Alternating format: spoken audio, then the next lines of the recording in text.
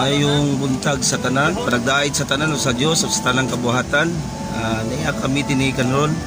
Uh, aron pagsaulog sa among dali tagbo padulong mi sa Morikay. O ni amo mga kasabtangan mga kauban sa GSO. Na sila dinhi.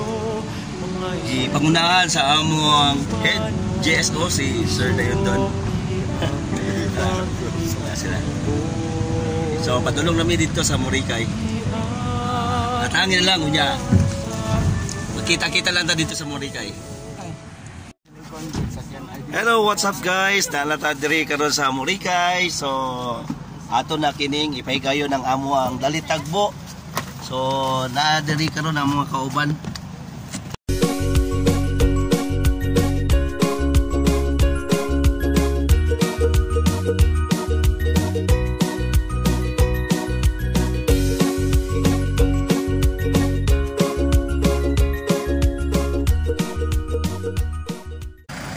panagdayo sa Dios ug sa tanan ug sa tanang kabuhatan. So na dinhi karon ang grupo sa GSO department.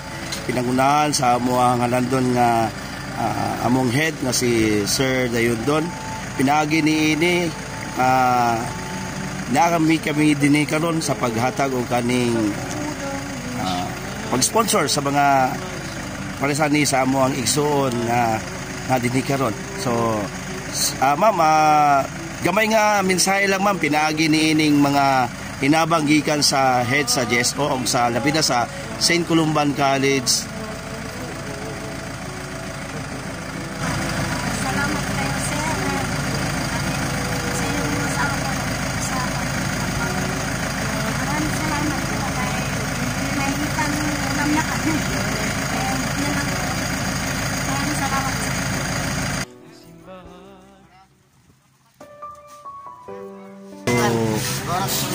pinani ni pinisikat sa among mayong uh, head si Sir Dayanton so kami ikaduha nga sponsor na mo ni karon sa naragyapon mi diri sa sa Murikay so maghatag ding mga bugas sa mga pamilya nga nang hinahanglan og katong kabus kayo no?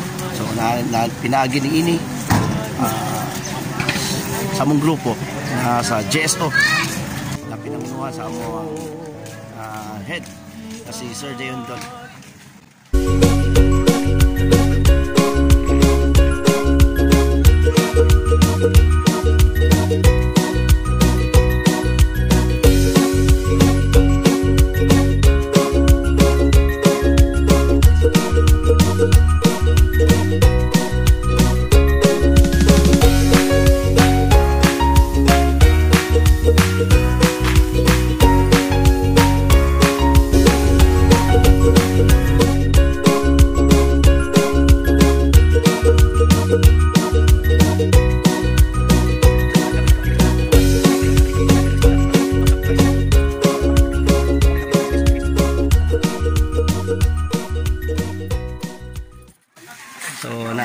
diri karon sa ikaduha nga gisponsoran sa GSO department nangunuhan sa ato ang amo ang head OIC head na si Sir Deondon. So mo ni pamilya nga uh, si Dali Tagbo no.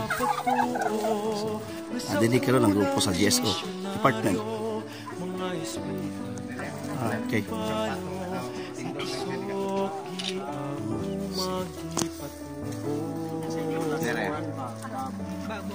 Babo. Ah ah Babo, ah, anong masasabi mo o say masulti nimo sa pinagi ni ining mga dalit nga gikahatag sa St. Columban College? Uh, Mayo na ka nakadawat pa sa kwan. Para makaunta. Okay. So, proceed ni sa next nga family. Among Suspect enjoy sa among mga kauban. Mo ni ingon pa nila ang kalipay wala dili mabayran, no? Dili gid mabayran ang kalipay. Sa tuwa sa mga kakulian, ha, uh, kakulangon na mo pinaagi sa pagpadayag mo sa gugma ni Kristo.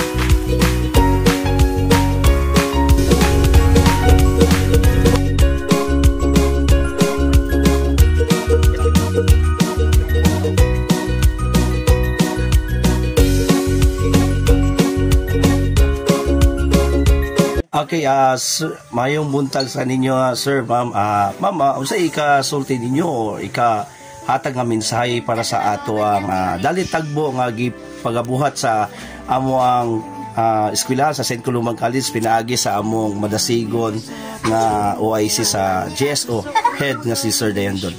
Ma'am. Maraming salamat po. Salamat kayo sa inyong kihatag. Nakuan ang hinabang